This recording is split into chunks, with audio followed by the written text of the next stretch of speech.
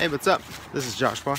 Nighttime walk to do a video, which I haven't done in a while, but I'm uh, I'm out here uh, by the Mississippi River.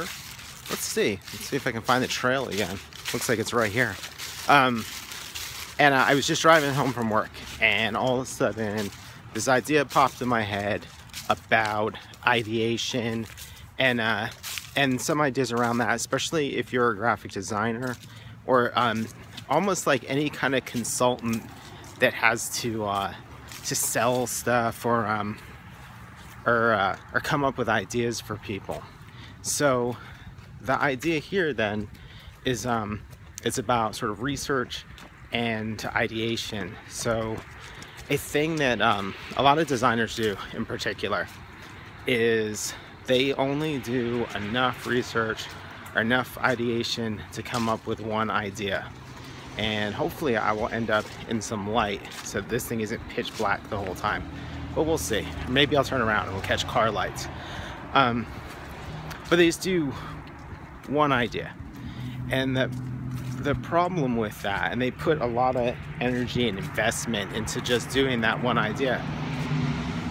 And the big problem with that is um, if that idea gets rejected, there are no backup ideas because the whole focus was on delivering this sort of one like genius level idea. So any kind of back backup idea wasn't really important to begin with. Um, and so, uh, so if the idea gets rejected, you to sort of go back to the drawing board.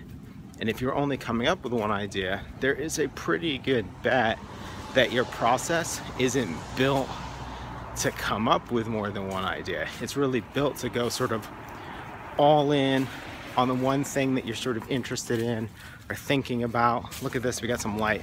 This might be slightly better. So it's built to go all in on the one thing that you're thinking about or interested in. And then if you run, if that's all you've got, you're kind of doomed. And it sucks. So let's see if we can get, how's that? That's pretty good. That'll probably freak out runners. So let's get in the woods a little bit. Um, yeah, that works. Okay. So, um, so what ends up happening uh, is your, your process isn't built for coming up with more than one idea.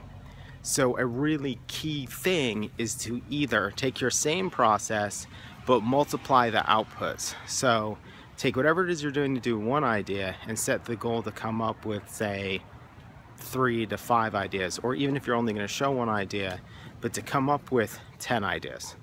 And then if you want to throw all your eggs in one basket, if it gets rejected, you have other valuable insights hopefully behind you.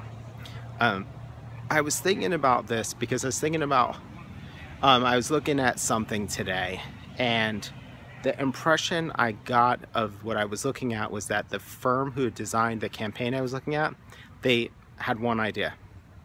They went all in on that one idea, and when the client wasn't really feeling it, they didn't have the breadth of insight to to go back to um, either further develop or come up with a new idea uh, so what they did was they took their one idea, they kind of split it into three and basically rewrote the rationale and just did a bunch of bullshit to try to make it look like they had more than one idea. But it was still really clear they only had one. Um, any difference was um, so minute as to be basically be an alternative, not a, a new kind of idea. And um, and I think that that speaks to one, not prioritizing having enough ideas, but then two, not having a process that is built to, accom to accommodate having a nice big flow of ideas. I'm gonna start heading back. So the goal would be to have a process, you know, treat ideas like a funnel. You wanna drop a ton of stuff into the top of the funnel um, with, and then have something at the bottom that comes out and is great and is done but you don't really want it to be that the bottom that the funnel can only come up with one idea. You just want it to be that there's one idea maybe that you feel most strongly about. And again I would advise against that. I think the way to treat ideas or, or concepts for a project is that uh, you want them to be like your kids or your like if all three of your dogs get out and you live near the highway and you have to pick one you probably won't be able to. That's kind of like the caliber of um, attachment you want to have to any one idea. You sort of want it to be that you have three ideas you love them equally and it's impossible for you to pick which one to kill.